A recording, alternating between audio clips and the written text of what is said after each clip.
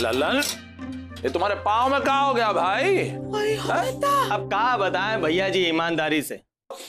दरअसल कल हमारे मोहल्ले के चौराहे के बीचों बीच नींबू और सिंदूर से किसी ने जादू टोना किया रहे और हम बिना देखे ही लांग लिए ईमानदारी से। और लांगते ही तुम्हारा पैर टूट गया। अरे नहीं भौजी लांगने के बाद तो हमेशा की तरह अकड़ते हुए हम अपने घर पहुँच गए। बाकी जब हम अपने घर के बाहर कुर्सी पर बैठे लिट्टी चौखा खा रहे थे तभी अचानक एक पागल सांड पता नहीं कहाँ से आई के हमें कुर्सी समेत उठाई के धड़ाम से पटक दिया ईमानदारी से। अरे ये सब ज़रूर उस टोने टोटके की वजह से हुआ होगा हाँ? मम्मा तो क्या उस सांड को भी जादू टोना आता था? अयो दादा नहीं स्वीटी सांड को नहीं। अरे हम तो उस आदमी की बात कर रहे हैं जो नींबू पर सिंदूर डाल के टोटका करके चौराहे पे रख गया था। भौजी बिल्कुल ठीक कह रही है ईमानदारी से। हाँ। बीना तुम्हारे दरवाजे के सामने किसने जादू टोना किया है? जी हम आपको कहीं नहीं जाने देंगे। अब तो बिल्कुल ही नहीं जाने देंगे। अगर आप इसे लांग के गए ना तो आपका भी पैर ललन की तरह टूट जाएगा। आप लंगड़े हो जाएँगे। हाँ? ए बेबी तुम जानती हो वो अपना दूध वाला है ना ललन?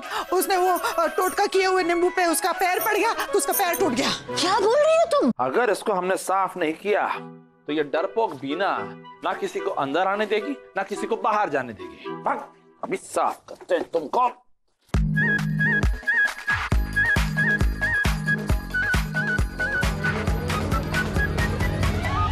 रेडी स्टेडी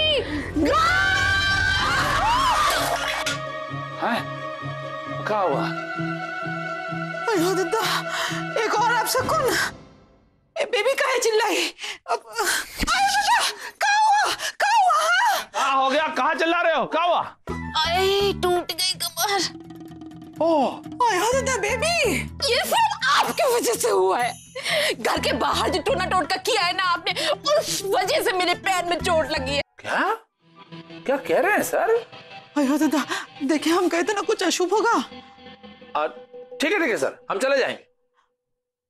का, का, अरे का शुभ होगा? जो सात लाख की बात हो रही थी ना वो कमीशन का काम के लिए कल सुबह फिर से वो यूनियन वाले विचार करने के लिए हमको बुलाए हैं मीटिंग के लिए। तो कहाँ से अशुभ हो गया? अब कहाँ गया तुम्हारा टोना फोना हाँ तो ठीक है ना। अच्छी बात है। बस हम तो भगवान से यह प्रार्थना करेंगे कि आपके मुगल सराय जाने के पहले ना कुछ ऊंच नीच ना हो, कुछ अशुभ ना हो बस। कुछ नहीं होगा। डरना बंद करो।